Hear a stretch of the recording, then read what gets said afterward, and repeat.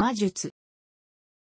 魔術とは、家庭上の神秘的な作用を介して、不思議の技をなす営みを概括する用語である。魔法とも、人類学や宗教学の用語では、呪術という。魔術の語は手品、技術を指すこともある。英語のは、魔法、魔術、呪術と翻訳される。近代日本において、訳語を創出する必要があった文化などの概念と異なり、マジークは従来の日本語の語彙で対応し得る言葉であった。魔法は古くからある日本語であり、幕末に刊行された和英語臨修正初版1867年の英和の部ではマジークに魔法、飯綱、妖術が当てられ、同じく和英の部では魔法や魔術にマジークアーツ、ソーサリー等が当てられた。宗教人類学の分野では、この訳語として呪術が定着している。一方、思想史や西洋史の文脈では、魔術の語が用いられることが多い。魔術は、西洋神秘思想の一分野の故障としても用いられる。人類学者、ジェームズ・フレーザーは、禁止編において、文化進化主義の観点から、呪術と宗教を切り分け、呪術には、行為と結果の因果関係や、関連の合理的体系が存在し、呪術を宗教ではなく、科学の前段階として捉えた。フレーザーは、呪術を類間呪術、または模倣呪術と感染呪術に大別した。フレーザーは、進化主義的な解釈を行い、宗教は劣った呪術から進歩したものであるという解釈を行ったが、エミール・デュルケームはこれを批判的に継承し、本来集団的な現象である宗教的現象が個人において現れる場合、呪術という形で現れることを指摘した。さらにマリノフフスキーは、機能主義的な立場から、呪術や宗教が安心感をもたらしていることを指摘し、また動機という点から人に顔をもたらすそうとする呪術を、黒呪術ブラックマジークと言い、雨乞いや病気回復など、公共の利益をもたらそうとする呪術を白呪術、ホワイトマジックとした。しかし、超自然的なものである呪術だとしても、意図的なものと非意図的なものがあるとして、エヴァンズ・プリチャードは前者を邪術、後者を妖術として区別する必要性を主張した。クロード・レビイコールストロースは思考様式の比較という観点から呪術を一つの思考様式としてみなした。科学のような学術的、明確な概念によって対象を分析するような思考方式に対して、そのような条件が揃っていない環境では、思考する人は、とりあえず知っている記号、言葉、シンボルを組み立ててゆき、物事の理解を探るものであり、そのように探らざるを得ない、とした。そして、仮に、前者、科学的な思考を、栽培種の思考と呼ぶとすれば、後者は野生の思考と呼ぶことができる、とした。野生の思考は、素人があり合わせの材料でする工作、ブリコラージュのようなものであり、このような思考方式は、いわゆる未開社会だけに見られるものでもなく、現代の先進国でも日常的には、そのような思考方法をとっていることを指摘し、それまでの自文化中心主義的な説明を根底から批判した。エヴァンズ・プリチャードによる南スーダンのアザンデ族の研究以来、社会人類学では、邪術、ソーサリーと妖術、ウィッチクラフトとを区別するようになった。邪術は、英語のソーサリーに対応する日本語の文化、人類学用語であり、呪術信仰において、超自然的な作用を有すると信じられる呪文や所作、何らかのものを用いて意図的に他者に危害を加えようと、す技術を指す。ただし、防衛のために行われる呪術を邪術に含める場合もあるので、横島な意図によるものばかりではない。妖術とは、学問的には文化人類学で定義されるウィッチクラフト、ウィッチクラフトのこと。エヴァンズ・プリチャードはアフリカのアザンデ人の研究において、ザンデ語において人間が意図していなくても危害を加えてしまう力として使われているマングの訳語としてウィッチクラフトという造語を用い、日本ではその訳語として妖術が定着した。呪術では何らかの経験則に沿って呪術の様式が体系化されており、これが民族間の交流で多文化に影響を与えることも多い。これらの民族学的調査により、民族間の交流や移動の経路などが判明することもある。また考古学的な観点からは、過去の遺物より、呪術の様式を解明し、当時の文化や交易の経路を追跡して調査することも行われている。呪術には特定の呪術道具があり、狩猟具や漁具を使用する場合もある。ギリシア文明や日本、東南アジアなどでは弓矢が神聖なものとされ、神や神の力が宿ると考えられ、呪術の道具として使用された。狩猟民族の社会において、弓矢は世界的に普遍的な呪術の道具であったと考えられている。これは弓矢が敵対する社会集団との戦いに用いられたことも大きく記する。また弓矢はその後、弦楽器の多くの起源となり、音楽や楽器に呪術的側面を持たせることにつながった。日本においては、漁具の釣り針や森、弓矢の矢も、幸と呼ばれるマナであるとされ、札や絵矢と書かれると呼ばれて信仰され、5、銃による狩猟が出て後も、獲物に当たった弾丸を居直して持つ、シャチ玉という習慣があった。呪術が医療として機能していたことは、民間医療などにもその痕跡が見られる。温泉、冷税治療なども経験的な医療効果が信じられ、ヨーロッパや日本などでも利用され、特定の信仰と結びつき呪術的要素を持っているものもある。特に日本においては、詣でと宿場と温泉地が結びつき、当時はもちろん宿泊や入湯も、みそぎや払いであった。沖縄には、ジンマシン、傘、皮膚病、魚骨が喉に刺さった時の、ハブよけの悪霊がついた時の、くしゃみの時の呪術があった。くしゃみをすると霊魂が外に出るという考えがあった。アフリカの一部の国では、毒、植物に限らないの生成と薬草の使用は生活の上で重要な位置を占め、それに伴いその知識を独占的に持つシャーマンが存在する。シャーマンは現在呪術医として分業するものも多く、薬草においては呪術に使用されていた物品を科学的に検討してみたところ、薬理効果があることが実証されているという事例もあり、その知識と薬草の提供に対し、提携し契約している製薬会社も存在し、実際に新薬の開発に貢献している。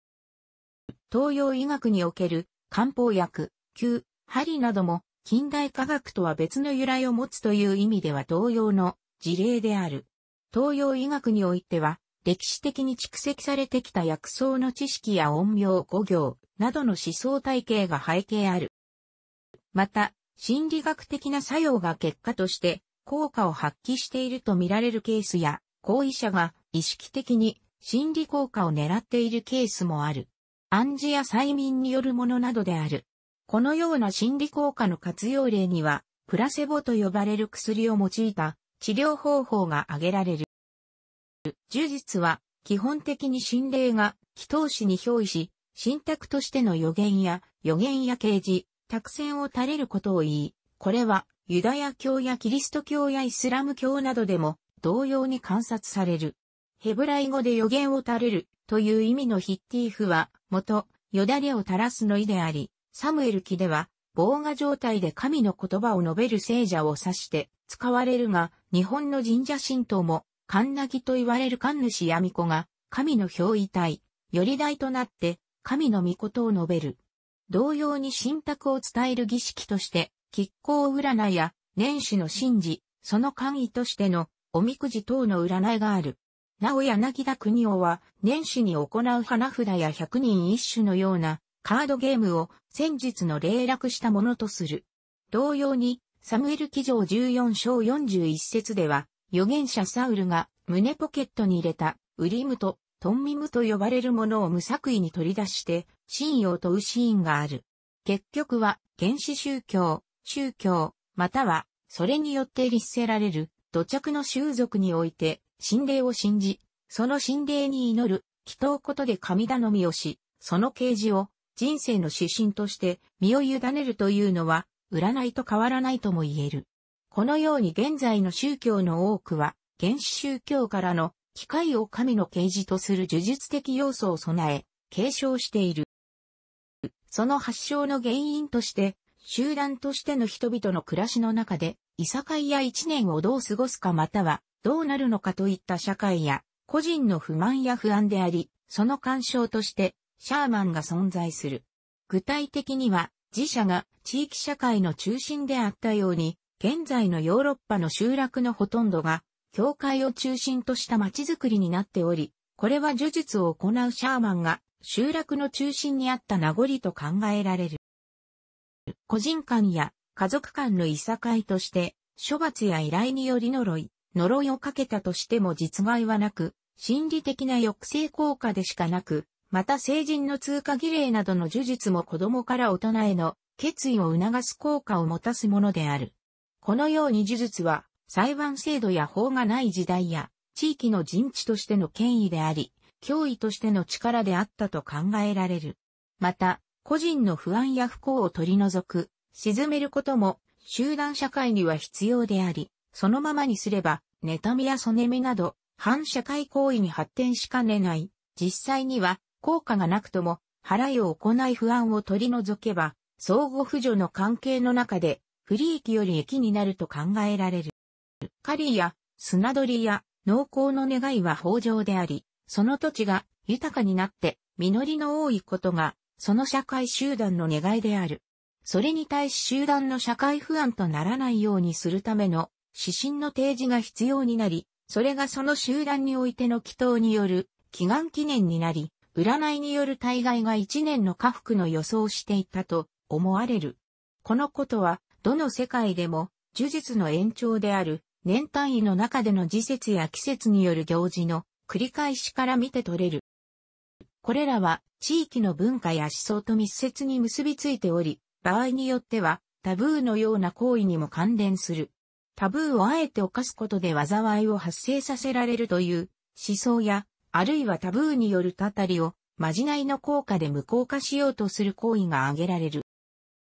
古代ギリシアの魔術を示す語には、マゲア、ゴエーテア、ファルマケアが挙げられる。マゲエアは、ペルシアの新刊階級の故障とされるマゴスより派生した。ヘロドトスによれば、マゴイ、マゴスの複数形はメディア王国の一種族名であるが、後に、信託や先生術を司る知者とみなされるようになった。マゲーヤは、マゴイの神学という本来の意味でも使われたが、マジナイや魔法といった意味でも用いられた。ゴエーテアは古代ギリシアの呪術師が、霊の口寄せをする際のうなり声から生じた言葉と言われ、時には詐欺的、または部別的な意味合いを込めて使われた。ファルマケアは薬であり、毒薬でもあるという両義性を持つファルマコにより派生した。悪行を意味するは、犯罪的な加害魔術を指す言葉として用いられた。イアンブリコスやプロクロスといったネオプラトニストらは、テウルギア、神道術と呼ばれる、大門、心霊に働きかける、哲学的魔術に言及もしくは実践した。テウルギアは、神の語もしくは神を働かせる術の意であり、一説には、カルデア神卓の修正者とされる二世紀のカルデア人、ユアノスの造語とも言われる。ゴエーテーアは、過当な魔術、テウルギアは高等な魔術、マゲーアは普通の魔術に分類された。新約聖書でパウロは、魔術、呪術をあるだとしている。中世ヨーロッパ世界で、科学と魔術は同じものであった。錬金術、キミアは自然科学であり、科学であった。中世の哲学を前提に人間が神との融合に向けて精神的な完全さを目指し努力すると同様に地球上の物質も完全的物質になることが可能であると考えられた。すべての自然物は精妙には調和して収まり、万物はマクロコスモスとミクロコスモスの照応によって結びついていた。先生術は魔術の一部であり、大学で教えられ、数学や医学とも深く結びついていた。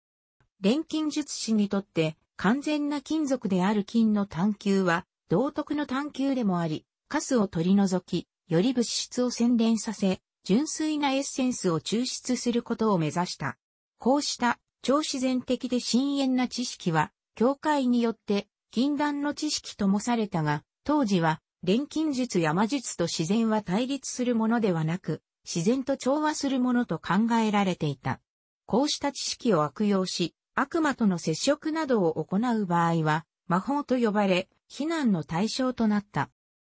13世紀の神学者オーベルニュのギヨームとアルベルトス、マグノスの著作は、自然魔術というジャンルの確立を促した。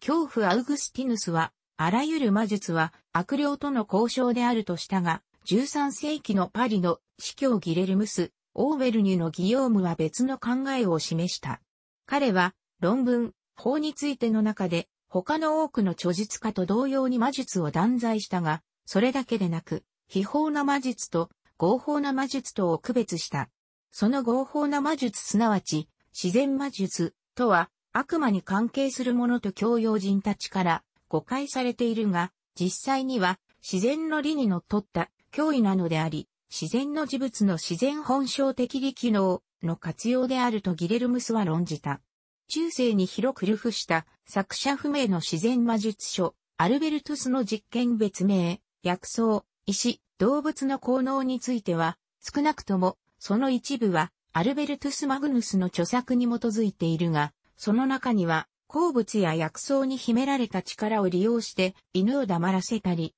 術者を不可視にするといった脅威を行う方法が記されている。初期近代ヨーロッパにおける互いに結びついている目的を持った世界という見解はキリスト教神学と古代ギリシャの哲学者プラトンとアリストテレスの思想を大きく厳選とする。プラトン的思想、特に新プラトン主義者たちはから完全で超越的な一者から不活性で生命のない過当な物体まで世界の存在は皆連続する海底の中の特定な位置を持つという自然の海底、つくらなつらえという発想が生まれた。一者から遠い過当な存在ほど一者とは似ていないと考えられた。プラトン思想の著作は、ヨーロッパでは、ルネサンス期に再発見された。アリストテレスの思想で寄与したのは、物事を知るためには、原因についての知識が必要という考え方である。彼の目的元と作用元という考えは、事物を他の対象との関係性で定義しようとするので、神によってデザインされた摂理ある世界というキリスト教の考えと相性が良かった。神による目的元は、被造物の内部に埋め込まれ、記号化されていると考えられていた。思想シアのエルンスト・カッシーラーは、ルネサンス期に魔術と先生術は深い同一性で結ばれており、象徴、シンボルと因果律、自然法則や秩序の融合がその概念の主張であったと述べてい。ある事物について知るには、その事物に関するネットワークを知り、特にそれを存在せしめ利用している他の事物について知ることが重要であると考えられていた。当時の自然研究の全体を自然哲学と呼ぶが、学問の分野も宇宙の様々な局面も互いに事物が結びついているという感覚が特徴と言える。イエズス会の赤学アタナシウス・キルヒャーは、百科事典的な著作の口で、神学を頂点に、自然学、史学、天文学、医学、音楽、工学、地理学などの学問を並べ、相互のつながりを示しているが、自然魔術、マギアナ・チャーリースも自然哲学の一分野として置かれている。自然魔術は近代科学とそれ以前の科学の中間的な学問だった。魔術の実践者は世界に埋め込まれた隠された結びつき、ヒドゥンクオリティーズ、クアラテイツアカルティ、オカルト的性質というわけもあるが誤解を招きやすいを知り、制御し、操作することを目指した。キルヒアーの口絵で、自然魔術は太陽を追う、ひまわりの首振りで表されているが、図の左上、これは事物の間の隠された結びつきの典型例である。事物の結びつきは、一般的に共感、シンパシーによって機能しているとされ、共感作用の媒体が世界世紀あると考えられていた。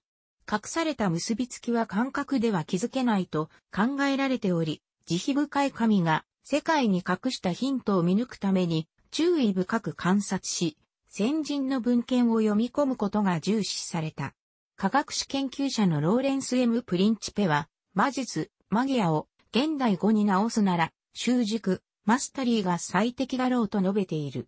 磁石、アヘンの催眠効果、潮汐に対する月の影響などが実例として知られた。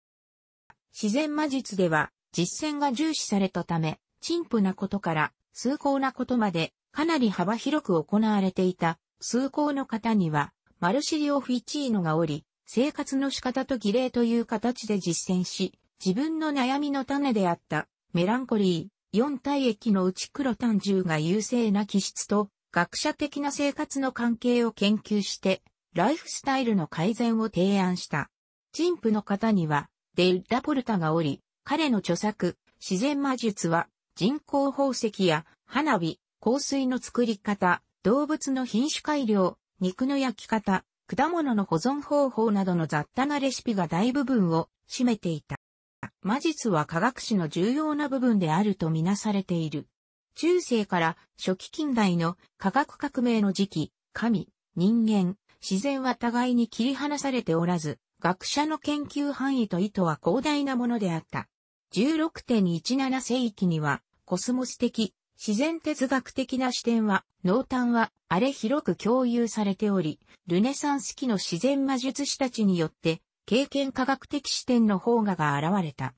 17世紀後半には、科学的研究で、仕組みが解明される自然の事象も現れ、19世紀になると今日見られるような専門化された狭い観点に徐々に移り変わっていった。中近世ヨーロッパにおいて宇宙、自然は有機的につながったネットワークであり、人間はその中で周囲と調和して存在する生きる実感を持つ一つの生物であった。プリンチベは現代的な研究法は地を細分化して成果を上げたが、世界をバラバラにし、人間の感性を宇宙から遠ざけ、根なしそうにしたとも言えると述べている。魔術を含む自然哲学は包み込むような広い世界観を持ち、学者たちの研究動機や疑問、実践はその世界観から湧き出していた。磁力や虹など魔術の研究対象であった物事の仕組みが科学的に解明されると、非議性を取り除かれ公になった学知は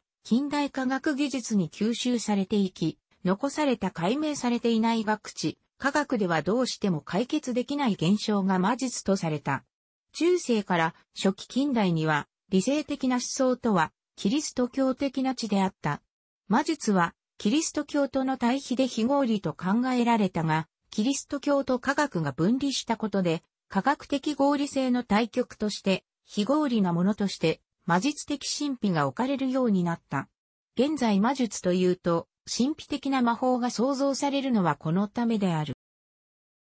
中近世キリスト教世界には自然魔術以外の魔術も存在した。デッラ・ポルタは魔術を自然魔術と高齢術に分けている。トマソ・カンパネッラは、モーセなど聖人が神の使者として自然を従わせ、起こす神的魔術、奇跡、自然魔術、白魔術、悪霊魔術、黒魔術、魔法に分けて考えていた。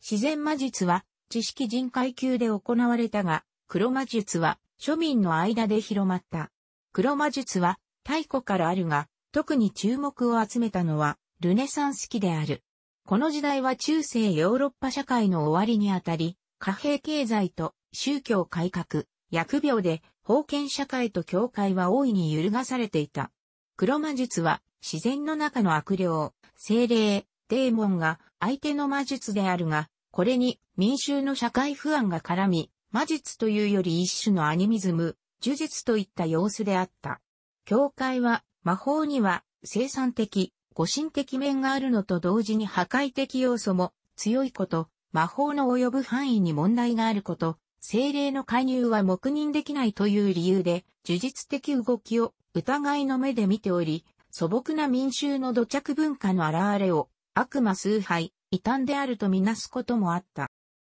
現代の英米を中心に行われている儀式魔術は黄金の夜明け団とその後継団体による19世紀末から20世紀前半にかけての儀式魔術復興運動を主要な起源とする。アレースター・クローリーは魔術とは意思に応じて変化を生ぜしめる学にして術であると定義した。クローリーは自分の提唱する魔術を旧来の魔術の洗練されていない部分から区別する谷という英語の古い綴りを用い、自分の魔術体系の独自性を強調した。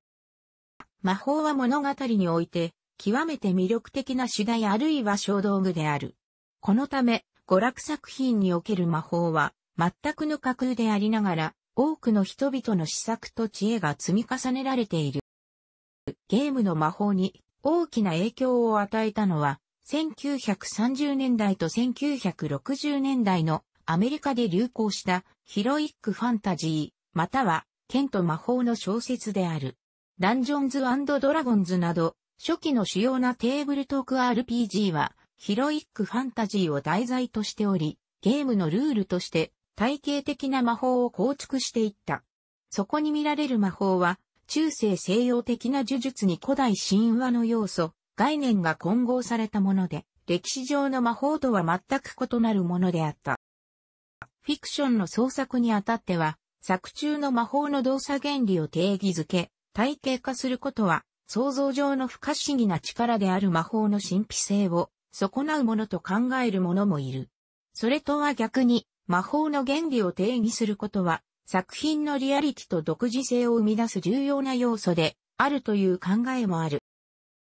前者は、エブリデイマジック的な作品に後者はロールプレイングゲームやアクション性の強い作品などによく見られる。前者は不思議を不思議であるがままに受け入れるテーマから、後者はゲームとして運用していく際の必要性や魔法の描写や作中世界の奥行きを増すためと考えられる。娯楽作品での魔法の動作原理は様々であるが、作中では以下のような動作原理がよく用いられている。フィクションの世界において、魔法は人がその場で使う他に、魔法の力を持つ道具、アイテムという形でも登場する。大きく分けると、魔法を使うものを補助する道具、魔法の杖や帽子、あるいは法器などと、本来の役割とは別に魔法がかけられているものがある。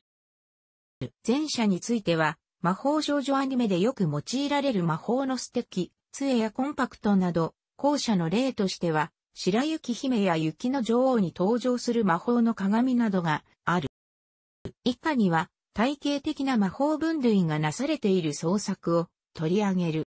代表的な作品、魔術とは、現実世界にはまだ解明されていない法則があると信じて、その法則を利用して現実を変えるため、あるいは信託を得るために特定の行動を行うことである。魔術は白魔術と黒魔術という二つに大分類されているが、この分類は便宜的なものであり、統一見解とは言えない。日本では古くから神道とともに陰陽という概念が取り入れられ、風水や祈祷によって現状の改変を図るという呪術は存在しており、祈祷師や霊媒師などを制御とする専門家も存在するが、魔術という語が使用される場合は、特に西洋の古典魔術や儀式魔術などを指すことが一般的であり、風水などを指して故障することは稀である。一部の人にとって、魔法はエネルギー法の任意の制御の一形態だと思われているが、現在ではまだ科学的なメソッドの存在が確認されていない。日本では魔法という言葉は、それらの神秘的で、超常的な力、または、行為の中でも、特に西洋由来のものを指す言葉としてよく使われる。これは、魔法という語が、明治以降に、外国語の訳語として使われたことが大きい。ただし、江戸時代に魔法という言葉がなかったわけではない。周、小木田安政、宿直草巻四、魔法を覚えし山伏のなど、18世紀の幼児集、和歌音釈書ことあざこ節用集にも、魔性、魔群とともに魔法の語が見える。魔法という語には非常な魅力があり、魔法瓶やマジックインキ、マジックテープといった商品名に使われることもある。また、日本では魔法といえば、メルヘンやおとぎ話、あるいは子供向けを主とした他愛のない不思議な力や方法を指す時の言葉としてよく使い、たとえフィクションであったとしても難しい理屈や深遠な原理が背景に存在するとされるものについては魔術などと呼ぶことが多い。そういった魔法のイメージは、アンデルセンやクリム兄弟の童話などが日本に輸入された際に与えられた魔法使いたちの印象が根底にあると考えてよい。ゾロアスター教の祭祀を語源としたマギ、新約聖書でイエスの誕生時にやってきて、これを拝んだとされる三人の賢者が著名に由来する。一般的には、現実の魔術の意味と同時に、手品、記述の意味でも用いられていた。さらに、ディズニーをはじめとする近代以降の作品のエンターテインメント性が与えた影響により、伝統的な魔術と関係のない魔法や魔法使いたちの印象が重複し、定着した。ただし、世間一般でいう印象で言うと、魔女狩りの悪影響があり、魔法は悪いイメージが東洋よりずっと強い。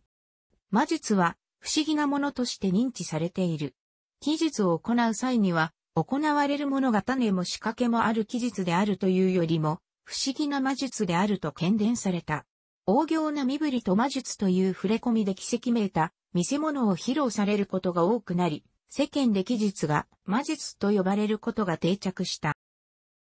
近代になり、一般的にオカルティックな奇跡の技という魔術の意味が縁遠くなったことも、魔術と記述の混同の一因と見られる。記述師が魔法使いと呼ばれるよりも、魔術師と呼ばれることが多いのはこのためである。日本では、魔じないとして知られる。魔事を行うの意味の名符をつけた語であるが、広辞苑に、マジクナフという語が収録されている。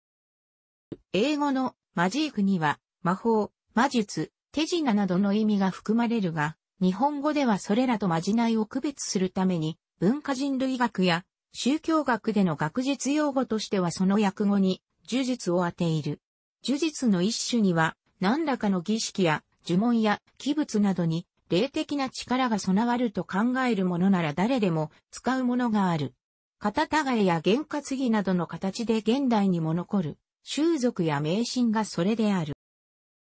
呪術とはそもそもまじないや呪文であり、仏教のお経も唱える者が必ずしもその意味を理解しているとは限らず、マニ社のようにそれを回すだけで功徳が得られるとするような面を形化としてみれば、それらも呪文やまじないとも言える。